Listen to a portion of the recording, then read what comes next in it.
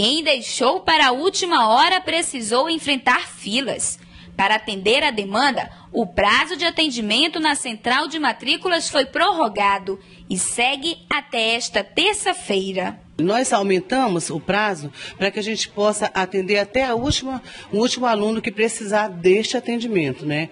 Então, é, aumentou um pouquinho o prazo, mediante essa procura que foi maior do que a gente esperava. O procedimento tem o objetivo de regularizar a situação de quem ainda não conseguiu vaga nas escolas estaduais.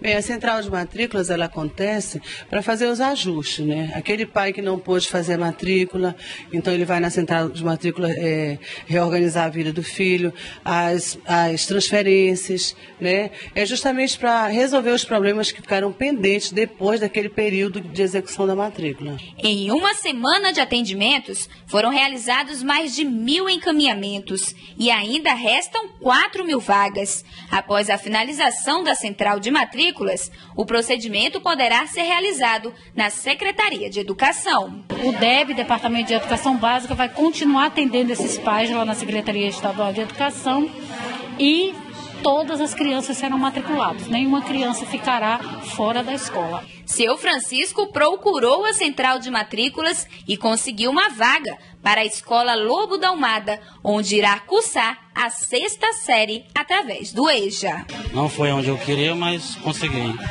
Agora eu vou correr atrás de uma vaga para minha esposa.